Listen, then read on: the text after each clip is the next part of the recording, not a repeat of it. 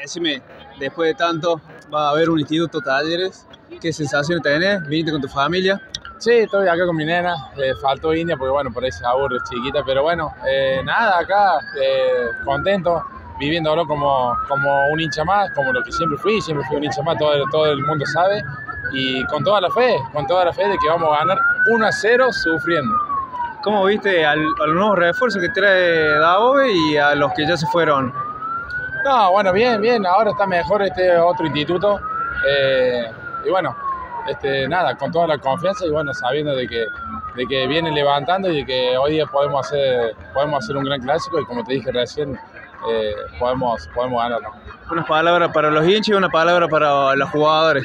No, para los jugadores simplemente decirles que como hincha y como hay jugador vamos a estar siempre haciéndole el aguante, tanto yo como toda la gente. Eh, y bueno, y como hincha, nada, vamos a estar siempre en las buenas y en las malas.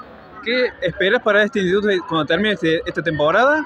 De ¿Una posición o algo en general? Y a futuro, ¿qué necesita eh, el club nada más?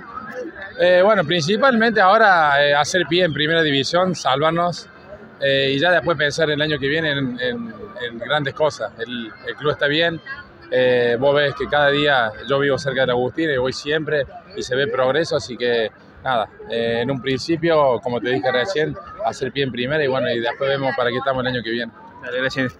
Gracias. Gracias. ¿Todo bien? Bien. Disfrute.